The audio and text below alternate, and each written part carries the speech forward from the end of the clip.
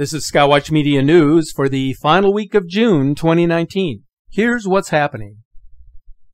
On Sunday, June 22nd, space telescopes located atop Hawaii's tallest peaks spotted an asteroid 13 feet wide out beyond the orbit of the moon. The preliminary trajectory plotted by astronomers showed the space rock named 2019 MO to be on a direct collision with Earth.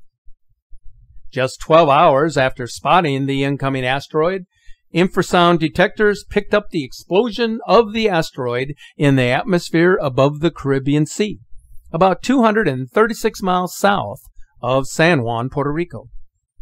The energy equivalent of the explosion was estimated to be in the range of 5 kilotons of TNT.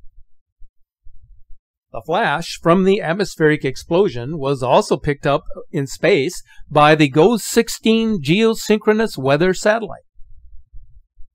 If you look closely at the satellite animation, you can spot the explosion and the condensation trail that is left behind by the fragments of the asteroid as it plunged towards the surface of the Earth. The latest event marks the fourth time that an asteroid has been detected just prior to its impact.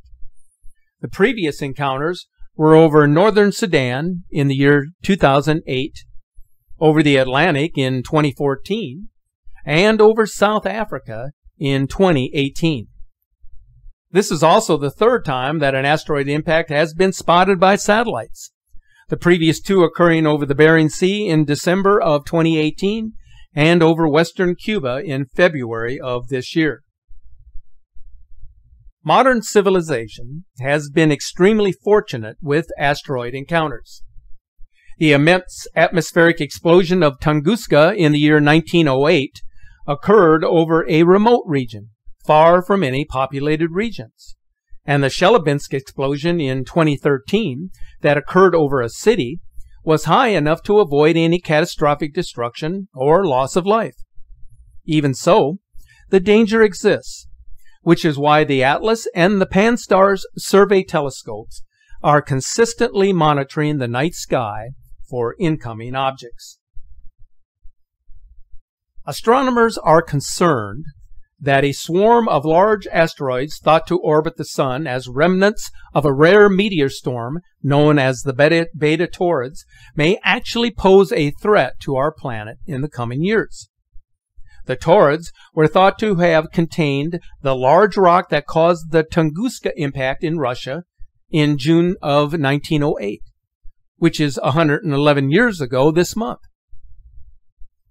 Earth is in the process of making its closest approach to the Beta Taurids since the year 1975, with the prediction that daylight fireballs and significant air bursts will occur more frequently. However, the Taurids, with its asteroid remnants, will pass Earth at a much closer distance beginning in the year 2030. So scientists want to use the close opportunity that exists now to observe inside the swarm and spot any potentially dangerous large meteoroids while there is still time to prepare.